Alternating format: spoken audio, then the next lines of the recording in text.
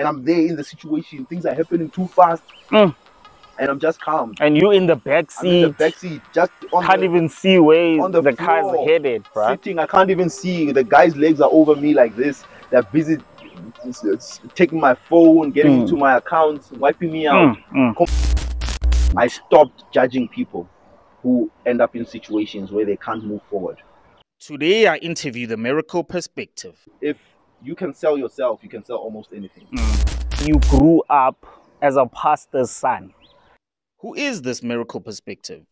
Some call him a superhero. You emceed my wedding last year. so I'm just pretending not to know you for the sake of the starters. Yeah, yeah. my starters, my starters, I have a special guest. It's been a long time coming. TMP. His first name is Miracle. So it means him coming here might just be a miracle. My brother, how are you? My brother, thank you for inviting me. You know this guy, ne? In fact, let me speak to you directly. Yeah. You are a big inspiration, even though sometimes you pretend not to know it. so you need to be reminded from time to time. Your profile, bro, an author of the Five Rand University. But today I see myself and I consider myself as an inspirational educator, an author, a professional public speaker certified by Toastmasters, Yes. and an environmental professional uh, with an honors degree, as well as an entrepreneur building a couple of businesses. Can I have a copy of that book just to show them? Because I know some of them didn't watch that book review that I did. The author of the Five Rand University. Don't just watch the video, actually go out, seek where this man is and buy this book. I actually have something big coming from that book. I'll, I'll tell you when we. You'll tell me all about it. Yeah. Okay, let me start it here, my brother. You are a confidence coach and a king, right? So I wanted to know, given the fact that you grew up as a pastor's son, did that influence you in any way? Uh, in, in, in, in me now as a com- confidence coach. Yes, in you being the guy that you are today, a front runner, a bench maker, someone who actually breaks boundaries and Levels. levels, my brother. Ah, well, thanks, thanks, my brother. You you really you put flowers in my shoulders. I can't even talk anymore because you're just pumping me up. But yeah. Yes, it did. A big time, a, a, a, a great deal. Because for the longest time, I didn't have the confidence I have right now. Mm, mm. But I look like I have confidence. Yeah, yeah, always. Always, I always looked like I had the confidence, but I didn't have. And that's the difference between showing the confidence and actually being confident. Mm, mm, So I mm. realized that most of the time I was more displaying the insecure confidence. Mm, And the inse- insecure confidence is the concept that I, I, I came up with to say you may look confident, more especially around your circle. mm, I grew up in the church space. It was easy for me to stand up in front of people, make announcements, mm, call the offerings. mm, I was used to the space, I was used to the people. So to people around me, I showed like I have confidence. mm, mm, mm, But did I have the same thing when I went into new spaces? No, I didn't. So And what that- was happening inside? The thing is, Or in your mind? a pastor's kid Yeah. Had a lot of pressures, Mm, and it it raised the judgment antennas very high. okay. So I was very conscious of what people say about me Mm. because you are a pastor's kid. You are not meant to be seen in places that Christians shouldn't be. Yeah, yeah, hundred percent. meant to be seen with girls. Yeah. Even though I'm a boy and I'm a bubbly, handsome boy, man. Girls that want me. so, so I mean, I, I must mingle sometimes. Yeah, yeah, yeah, for so, sure. But you can't be seen doing those things.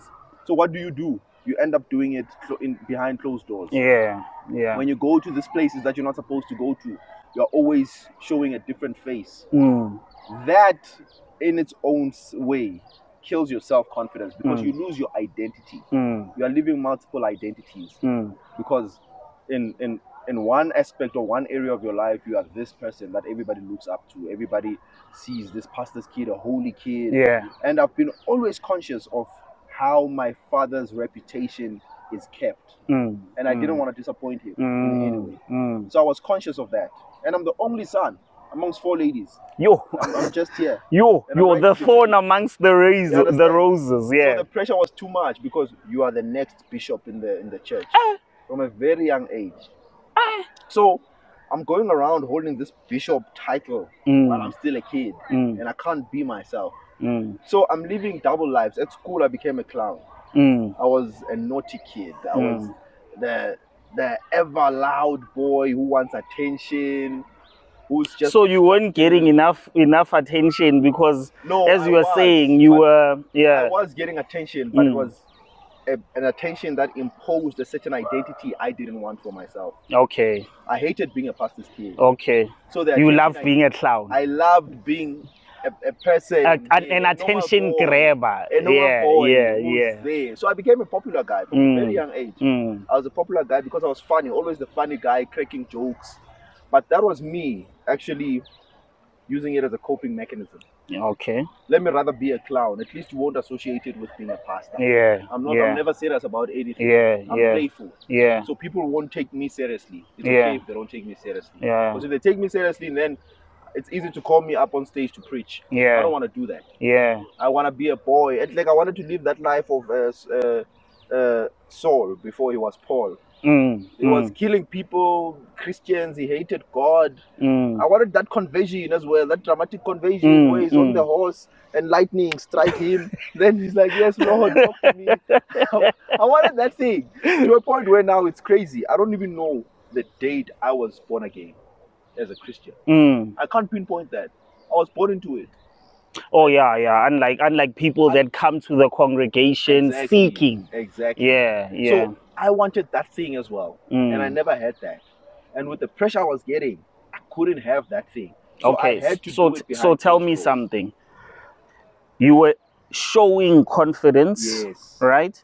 But not necessarily confident, especially when you went into new spaces. How about when you were then in this shell boxed as a clown? How was that confidence factor there? No, there was it was.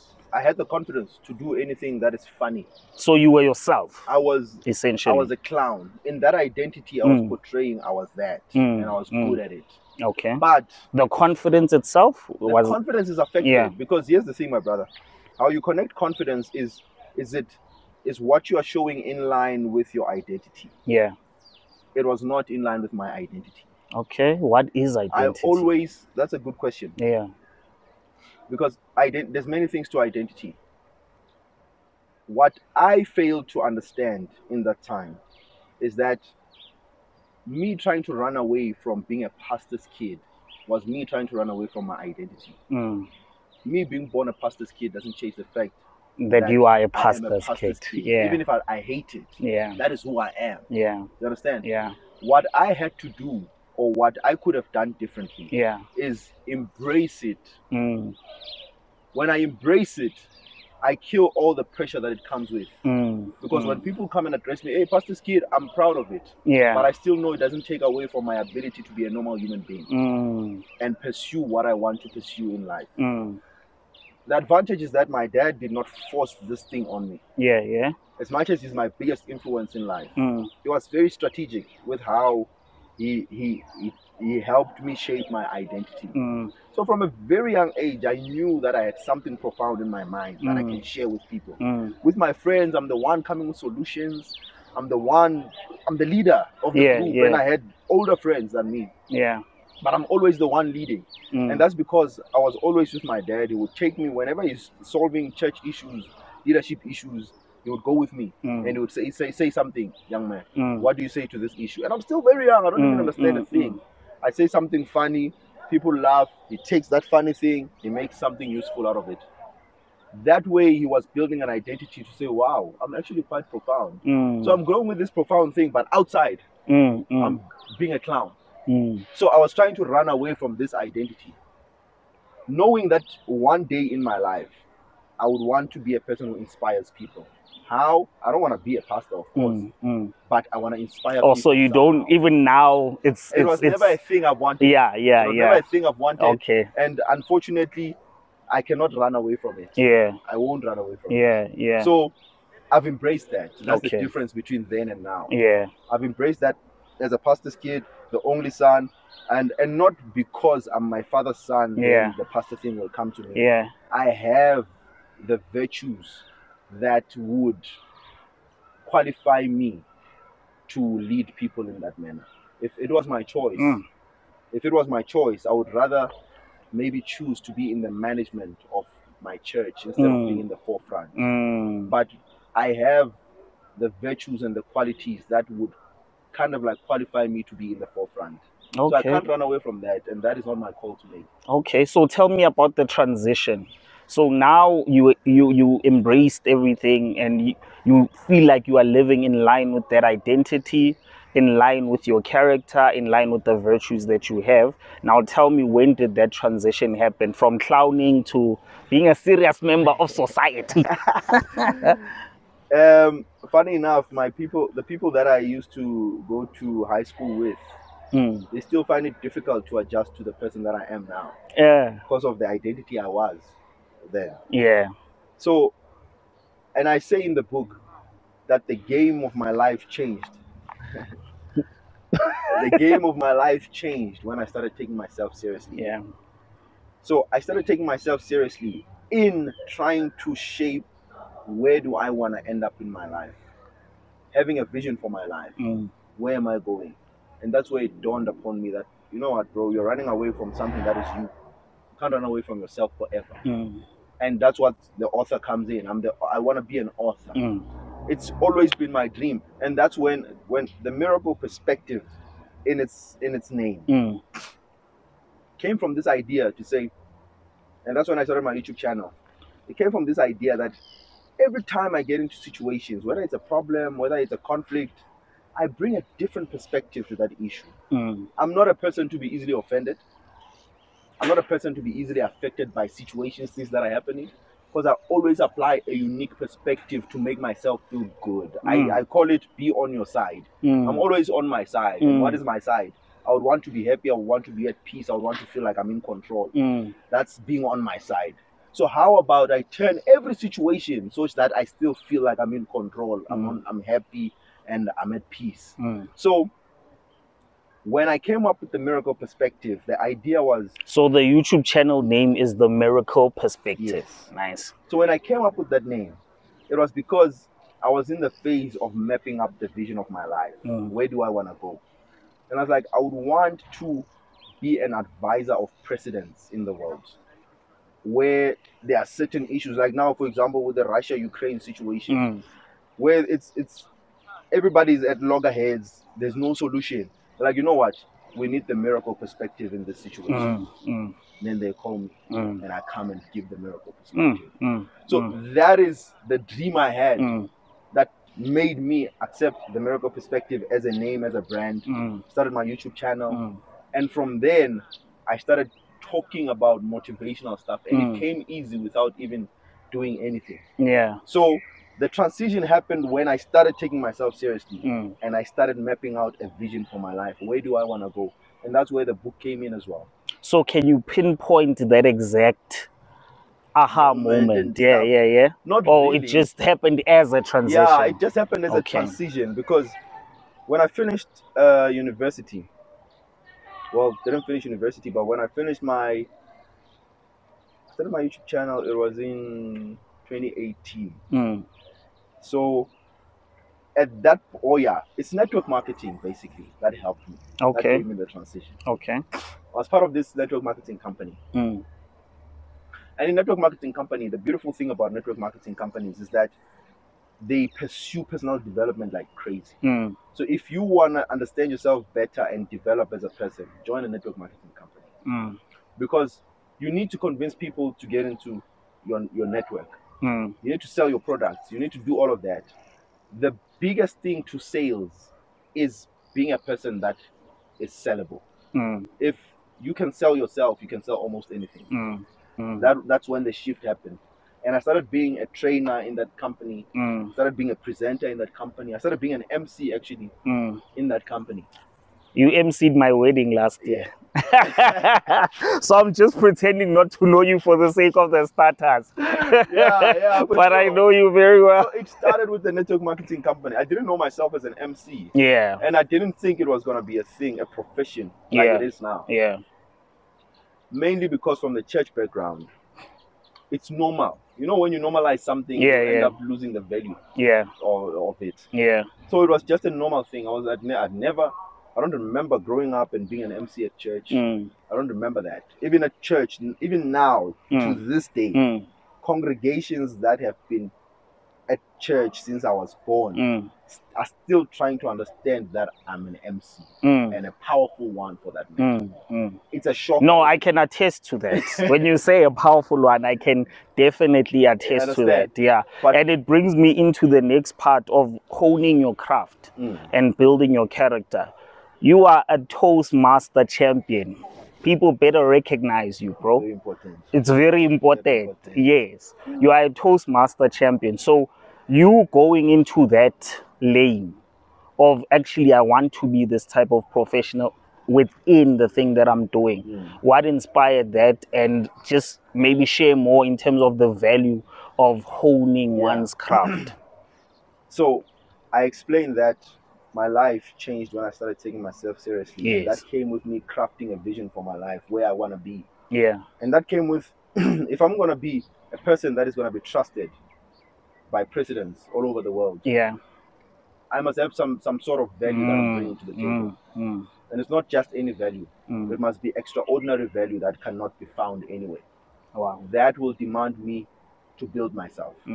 Mm, That will demand me to know certain things that people don't know. That will demand me to have a mental stamina that people don't have. mm, I am I can't be average mm. because it's not an average job that I want to do. Yeah. Yeah. So it starts there. mm, What do you want for your life? mm, Who are you supposed to become to become that mm, in order for you to qualify to do what you want or Mm. to get what you want? mm, So it's the question I ask myself. If I want to do such a big road, I want to inspire people all over the world, I want to do this, what will it take from me? mm, I don't have it now.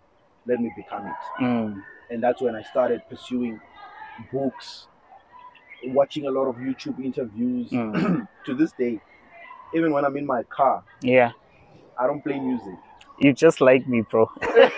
Yeah.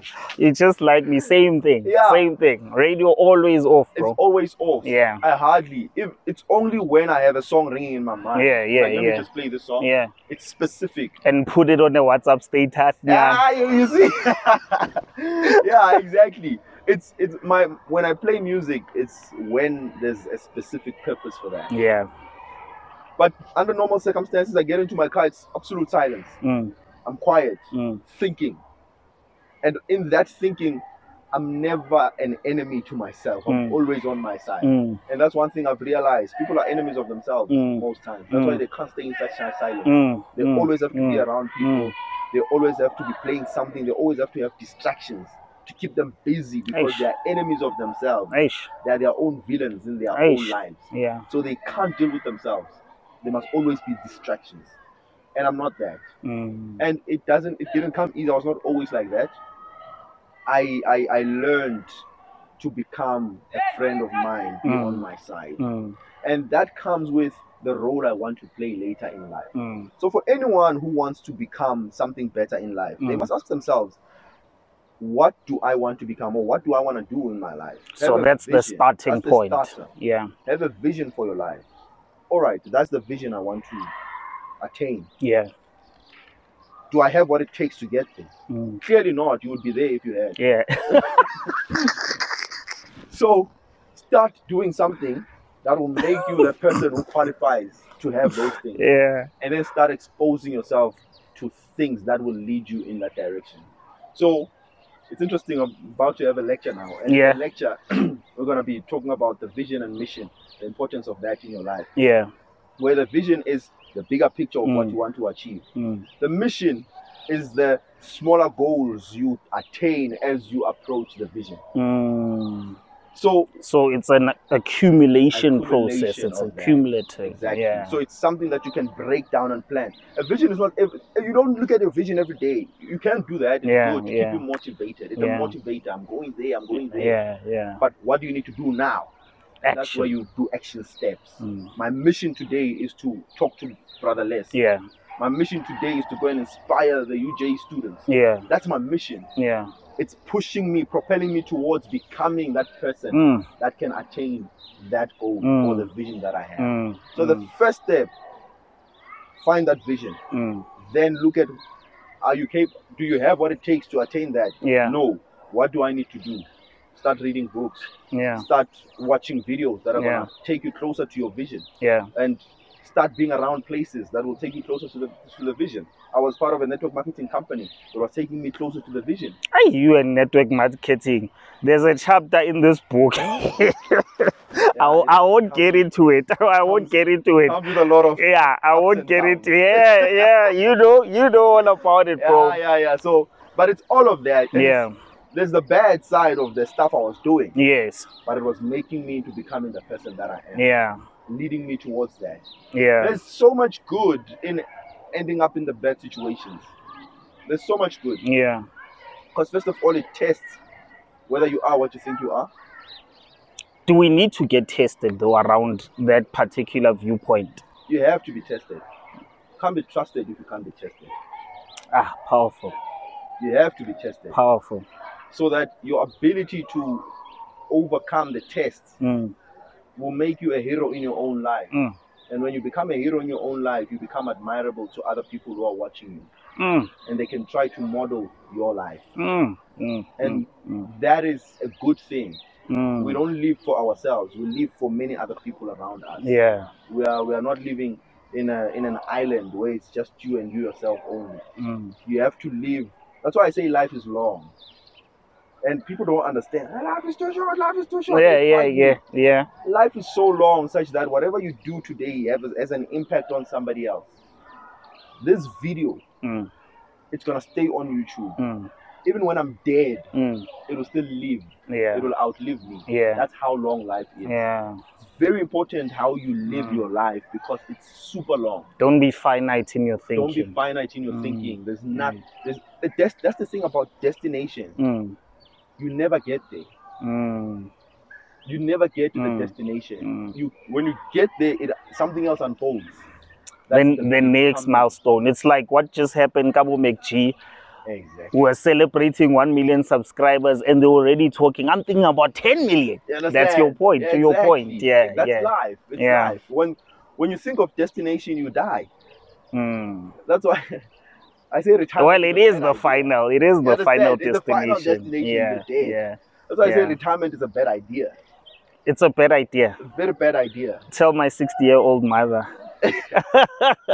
Because I've been pushing her to retire. I'd rather she retires, focuses on her spiritual journey and It's a- knocking on doors and bringing people in rather than the stress that she currently endures in the workplace. Yeah, it's it's a bad idea, my brother, Ah, extra, elaborate, elaborate. because it assumes first of all that you've arrived, you've done your role, you've had your part, and you've played it.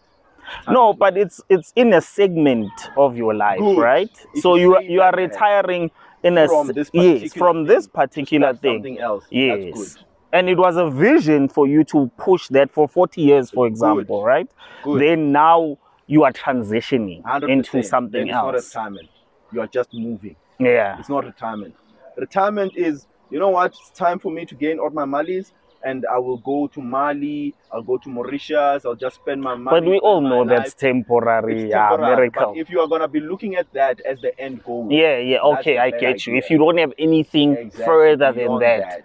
because you assume that nobody else around you needs your service, Mm, mm, and that's not the life that God has created. mm, mm, We are here to serve each other. mm, mm. So when you say, you know what, I've done my service, it's time to shut down. I'm done working. Mm. Nobody's getting help from me. Mm, It's a selfish approach, mm. and you don't live long after that. And it, it's statistically Yeah, yeah, yeah. You, You there, you, you do have a point. Yeah, yeah, yeah.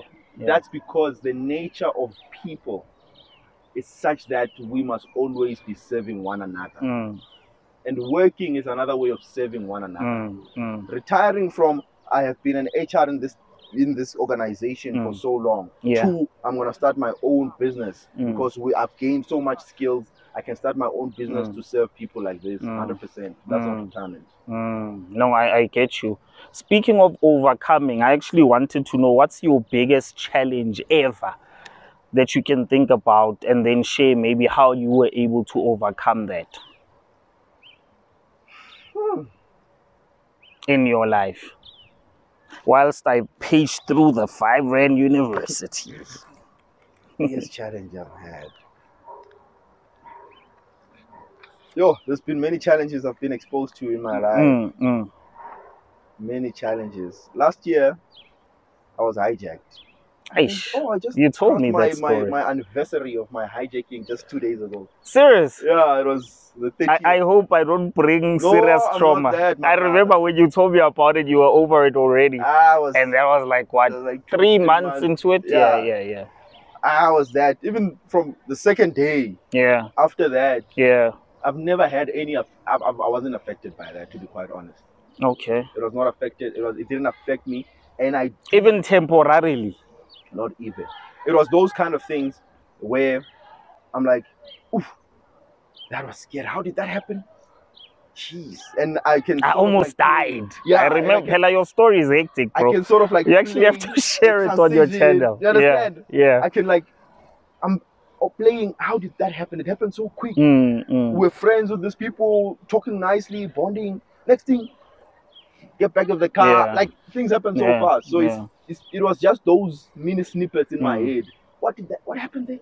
But it didn't affect me. mm, Didn't sit in my room crying myself to sleep every night and oh I almost died. No, no, no. mm, mm, And not because I'm a hero. mm, I understood from that incident. mm. You were being tested and I understood very well why Yeah. people get trauma get traumatized by such events. mm, mm, I understood very well how it could have traumatized me. mm. And but didn't I stopped judging people who end up in situations where they can't move forward because of situations mm, or things that happen that are mm, tragic to that degree. mm, And why did I stop judging people while I did not get traumatized?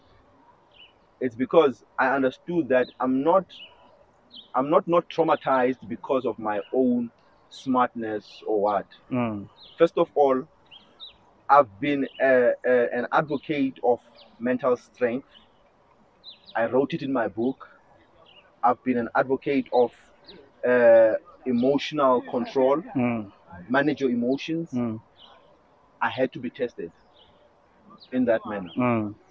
So that you s- you are? when you talk about resilient are you resilient yeah And lucky enough, it got me in a position where indeed I was resilient. mm, Because now, as that was happening, funny enough, I was not even thinking, yo, I'm gonna die, yo, this. No, mm, I mm. was thinking, geez, what is God trying to tell me in this moment? And I'm there in the situation, things are happening too fast, Mm. and I'm just calm. and you in the back in the back seat, just on can't the, even see where on the, the car's headed, bro. sitting. I can't even see. The guy's legs are over me like this. They're busy taking my phone, getting Mm. into my accounts, wiping me out. Mm, mm, completely. mm, At that instant, I'm like, all right, I don't have a car anymore. Uh, I don't have money. mm, I need to go and sell my books like crazy so I can recover. It's month end now. mm, What am I gonna do? In that instant, mm, I'm already thinking, what am I gonna do? Jeez, these guys have killed me. mm, mm, Yo, where am I gonna start? So I'm already thinking ahead to say, okay, it's happening. The car is gone. I've removed the trackers. I'm not getting this anymore. I've know, I know incidents like this they happen and people don't get it, but it's fine. At least we are having uh, proper conversations with these guys Mm. where we came, we were bonding. so I'm just relying on their hum- humanity, on Yeah, their humaneness yeah. to say, let's not kill this guy, let's leave Yeah. him like that. yeah, So I'm hoping for that. But after that, what's going to happen to me? yeah. So I'm already thinking ahead. mm, And I'm like, what is God trying to tell me? And the, the, the message I got was that you are delaying yourself. You are in the wrong place. There are people who should be benefiting from the Five Rand University, which is my book. mm, There are people who mm, should be mm, benefiting from you as a speaker. mm, And you are out here doing the easy stuff Mm. because it was easy for me to do that. Mm, mm. It was a comfort level for me to do that. Yeah. And I was like, you know what? After this, I have to go and work. Mm. So that was what what, what was happening at that instant. And that's why it didn't traumatize me because I looked into me. I'm a, I'm a big advocate of responsibility. I took responsibility of the situation.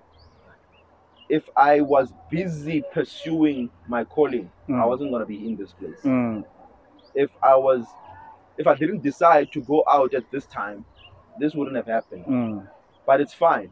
What am I supposed to take out of this situation? Because it's not what happens, it's what Mm. you do about it. Aish, yeah. And I always used to say that. Mm. Throughout this book, I'm saying that Mm.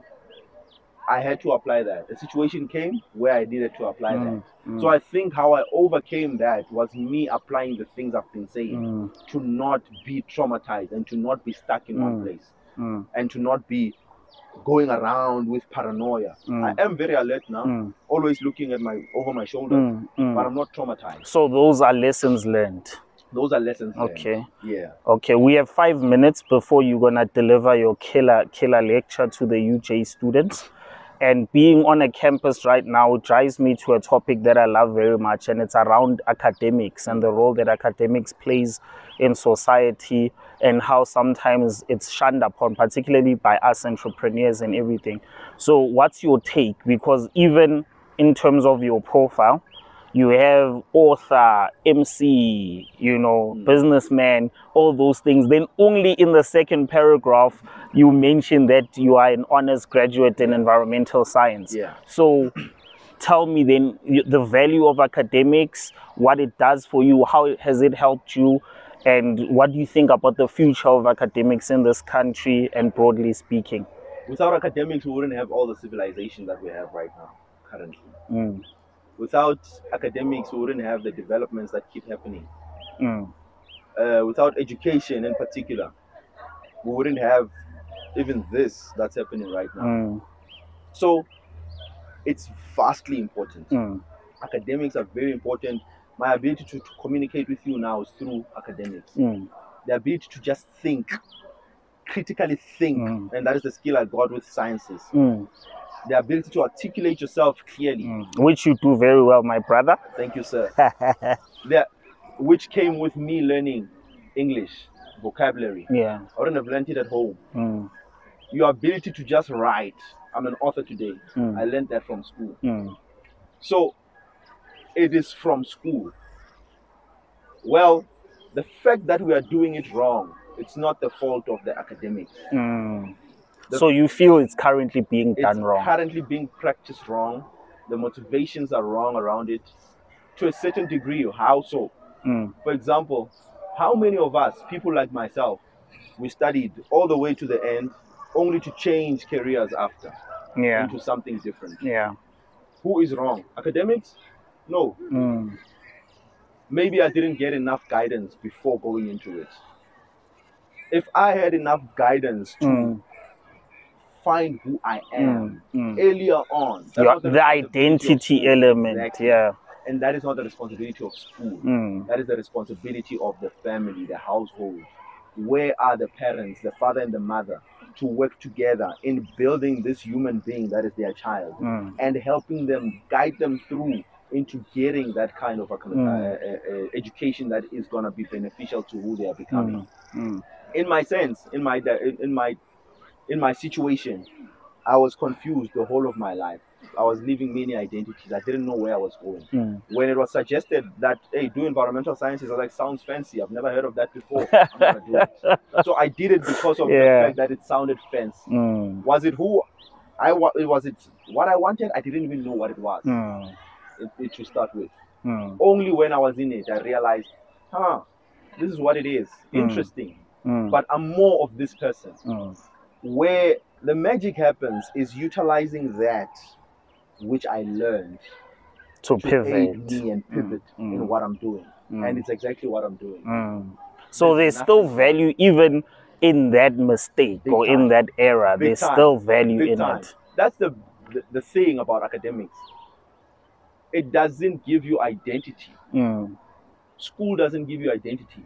It's a pity when someone feels like I'm a doctor in in as a I'm a doctor of philosophy Mm. or I'm a I'm a doctor of this and that is who I am. Yeah. It's a pity. Yeah. It's not. So it's a limiting mindset. It's a limiting mindset.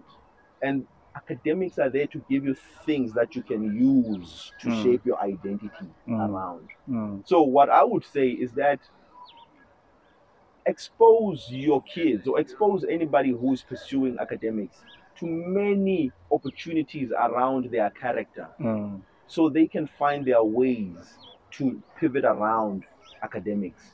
There are people who don't need school at all. Mm. They just need those hands-on kind of short courses Mm, mm. where they practice their craft. They don't need school. Why are you Mm. taking them to school? for? Mm. It's not the problem of school that it accepted you who was confused. It's you who went there when you were confused. So help them find who they are and what works for them and take them there. Mm. But also, depending on who you are, your identity and your background plays a role. There are many people who do not have the opportunity to be pivoting, looking for what works for them Mm. because situation does not and background does not allow. That's why it is their prerogative to look at themselves and say, Mm. I can hear this message, sounds good, but not for me. Mm. And that's where you come in as a, as a learner, be a student, not a follower. Mm. So you're like, he's speaking sense, but it's not for me. I don't Mm. have that that opportunity to be moving around trying to find what I love. Mm. I- I must work and bring money home to build my family, to help my brothers and sisters. There is though there are those situations that we cannot run away from. And academics is good because it will give you that employment that will help you to go back. Mm. Perhaps your life may start even later, Mm. but it's a gift on its own. Mm. You, don't, you shouldn't be looking down on it. It's a- it's a the foundation. It's a foundation. Yeah. The fact that you got an opportunity to even be at a position where you can start changing someone else's life and your own life, Yeah. it's a blessing on its own. No, hundred So percent. shouldn't be going around. I hate my job. I hate this. That job is a blessing. The Mm. fact that it gives you money, and it gives you food, and it gives you clothing, it gives you a sense of decency. It's a blessing. Shouldn't Let me let me tell you what people should go around saying. Mm. People should go around saying buy the five rand university. Because what we've just spoken about now is a snippet. It's a 100%. snippet of the value that you offer. And knowing that people don't really read books, Yes. including myself, Yes. Now let's get into that quickly. I don't read books as well. Yeah. So The author doesn't read books. I don't read books. to be quite honest. I listen to books. Okay. So, understanding that about me and the value that is in this book, Mm. people were asking me when you writing the second book. I'm like, no, I can't write the second book. As much as I already have the topic of two books in my mind, Mm. I have mm, order. mm, How to manage your life so that you are productive and you improve your performance. That is the next book coming. mm, But I'm like, no, I'm not going to write the next book. I've not done enough justice to this book because it is so powerful. It changed my life. mm. I made it easy for people. Mm. I recorded the audiobook Yourself. myself. Profile your voice over artist. Okay. I recorded this because I don't want people to have excuse that I don't have time. People don't have time. We're Yeah. living in a fast time Yeah. fast age. Things are quick. Yeah. It's easier to get into my car, play something while I'm driving. I will be reading the book for you. Mm. So there's the audiobook version coming for the book. When's it coming, my brother? On the 30th of September, I'm going to be having a massive launch, a mega launch Where? In Gi- Pretoria. give us details, in bro. Pretoria at Manhattan Hotel. Yeah. Uh, registration is half past 10. The event is starting at 11 o'clock. Mm. The beautiful thing about that launch is that it's a triple decker launch. Okay, let's hear it. I'm only launching this book, what, two years later, three Mm. years later. Mm. Mm. Why did I not launch it before? Mm. Because for me, just I, I wrote a book, guys, come see me. I wrote a book. Didn't make sense. Mm. Not that it's bad or anything, but for Mm. me. Mm. Now it made sense for me to launch the book. Why? Because I'm not only bringing the book that people are not going to read. Mm. I'm bringing the audiobook, Mm. which stands a higher chance of people listening Mm. and gaining the value that Mm. is in the book. Mm. Not only that, I'm, I'm launching the course for the book. Okay. So there's going to be a course program breaking down each and every chapter. Okay. As I read, as you read the book, Mm. it's it's chapters, chapters, but most of it it's chapters that will still leave you with the how do I apply this? So I broke Practical. down the practical application of each and every chapter Mm. broken down into segments. So basically, every chapter is going to be a module broken down into chapters. Module two broken down into chapters, and that is a video course that is going to be launched on the day. So, And as we are about to be late, we are about to give away two copies awesome. to two deserving environmental health students at the University of Johannesburg. Let's give this You're gonna choose who receives it at the end of your lecture Wow. based on participation, engagement, and everything else. Awesome. So Can't thank wait. you very Thank much so for much, making the time. And I'm looking forward to the lecture you're about to give, brother. Thank you so much. Much appreciated. Cheers. Subscribe to the channel. if you Cheers. yet. Bye-bye. Awe, awe.